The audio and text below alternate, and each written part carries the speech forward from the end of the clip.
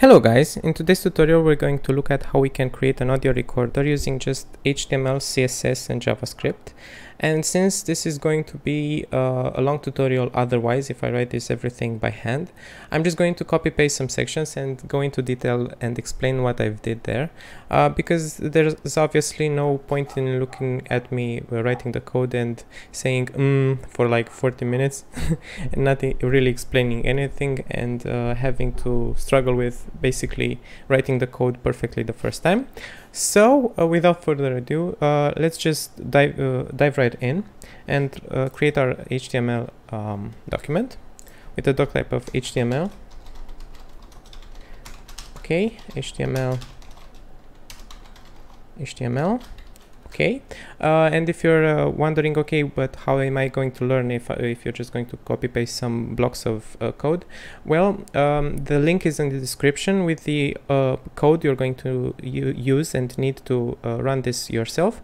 Um, so really there's no need to actually go into um, the struggle of hanging on for 60 minutes until I write everything by hand. You, you can just use portion, portions of the code that you need. Um, and I'm just going to explain uh, just a few neat tricks here and there as we go along. So first off, let's set the title in the head element.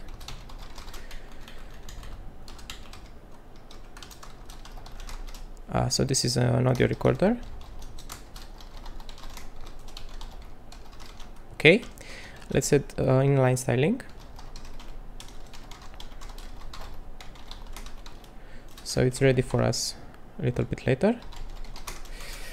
Okay, uh, we're not going to include any JavaScript just yet. I'm going to include them when we need them. Okay, uh, inside of the body element, let's just define uh, a holder.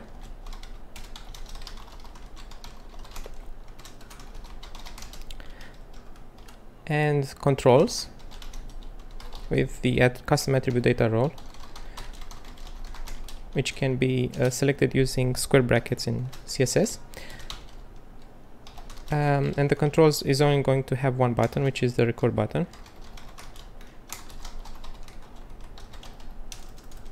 And it should be visible right now. There it is, the record button. And we're also going to have a recordings um, holder beneath our controllers. Uh, so the recordings is going to hold our audio files after they have been uh, generated. So for starters, we're just going to make sure that the body um, is vertically centered using display flex, justify content center, align item centers with height 100% and an absolute positioning. Now we're going to make the holder for the button uh, look great using a gradient, but this is not yet visible because we haven't really customized uh, anything yet uh, and there's not much uh, content here. Um, let's define the styling for the button and I'm going to go into just a little bit of detail over here. So the, the button is positioned uh, to the center um, of our holder with margin left right set to auto. It has no outline uh, which it would have had uh, if we uh, let it set.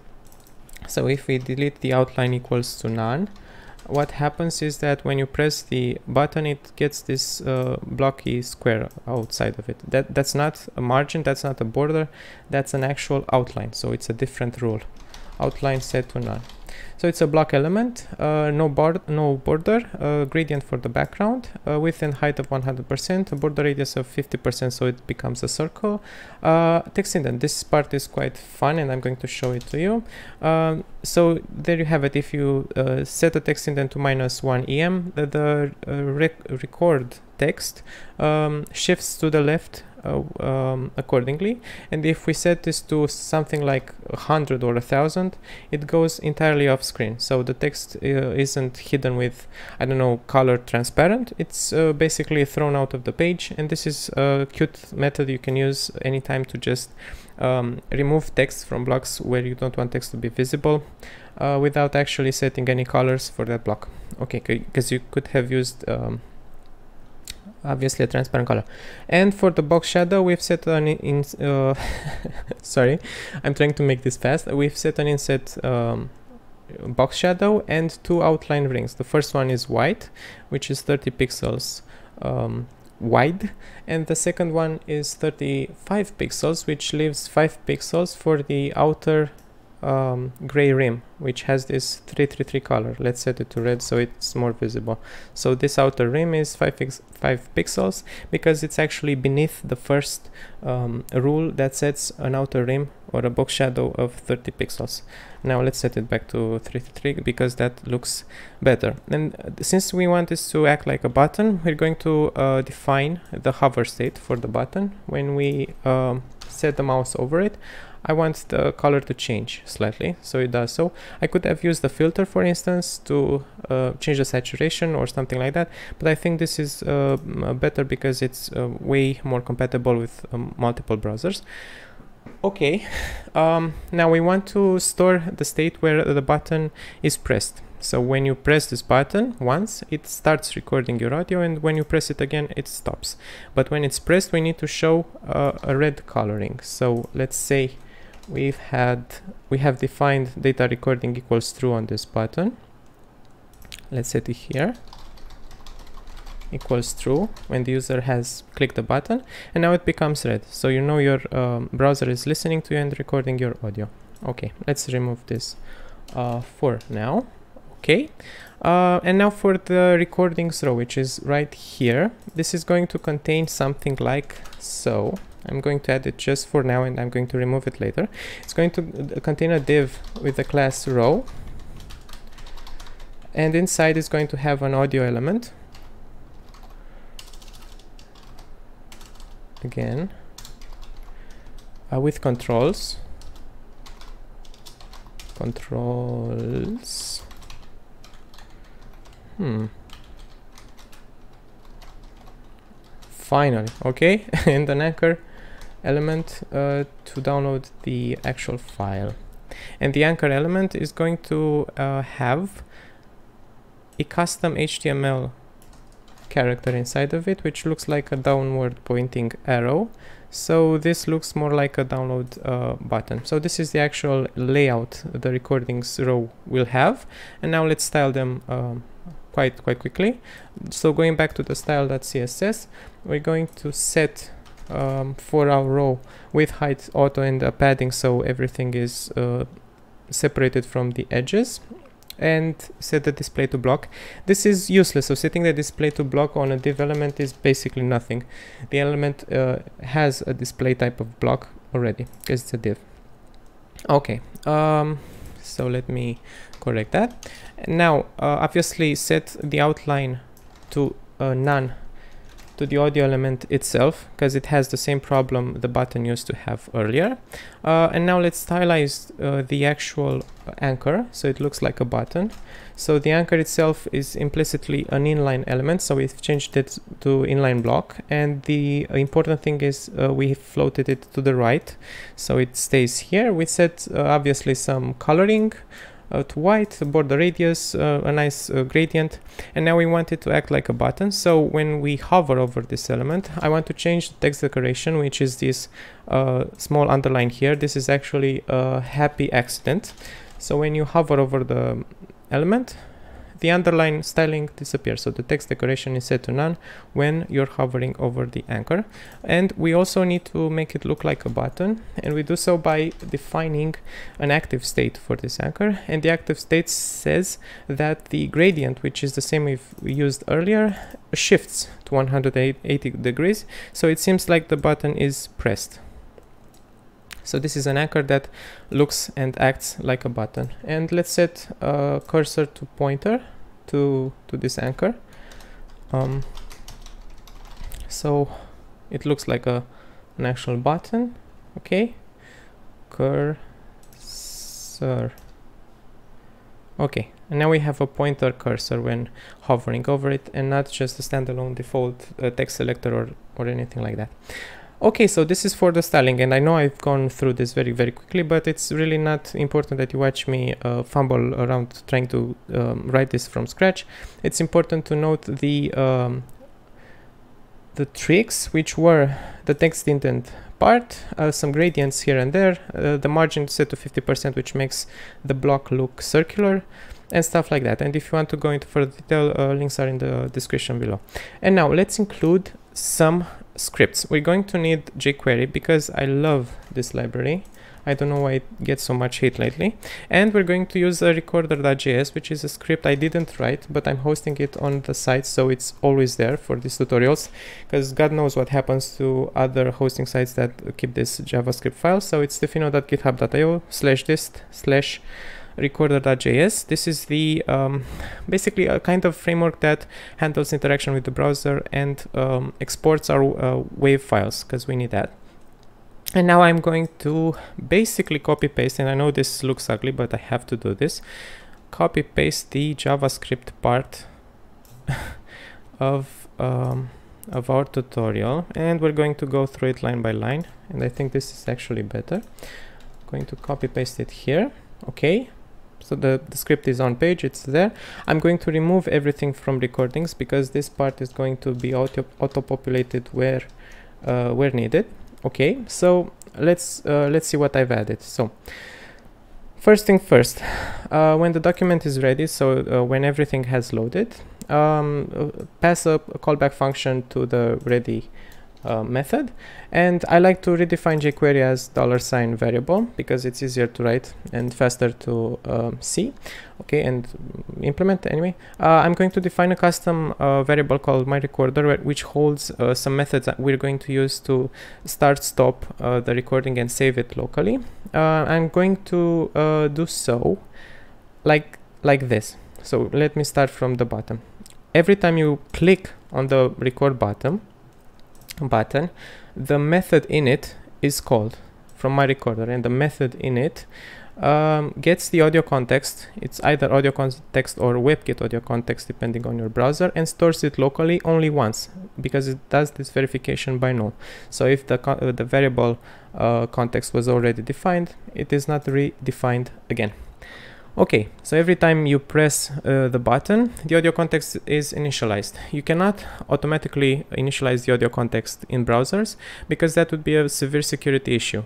Um, browsers only allow um, registration or um, feed, microphone feed, if the user actually granted it by uh, an event like a click. So this is why we're doing it here. We're initializing the context on click but only as needed and only for the first time the user clicks. Now the button state defines whether or not the button um, was pressed and the audio is recording. And these double exclamation marks at the beginning of the expression that gets the data recording attribute means conversion to boolean. So all this does is convert this expression into a boolean, which is either true or false. So we're starting with false, obviously, because we have no data recording set on our button. The button is plain and simple, no data recording attribute present at all. So button state begins as false. If we're in this state, uh, we're going to set the data recording to true, making it look red as we've defined earlier in CSS, and we're going to start the recording. Okay, so we're going to call the method start. And the method start uses the navigator media devices and calls something called user get user media uh, with the option to set audio to true and video to false. So we're only capturing the audio feed from the user which is the microphone. And when that happens when the stream was created it passes it along with a function which we're going to use here as a callback. And we're storing this stream locally because we're going to use it later when we stop the recording. And we're also storing an instance of stefino.github.io slash this slash recorder.js we're storing a, an instance of that when we click on the button which actually starts recording and it needs these two arguments. Okay and the method that begins recording is this one. My uh, recorder objects recorder recorder. Okay. So everything more or less clear or magical by this point. When you click the button it becomes red and the browser starts recording. Okay.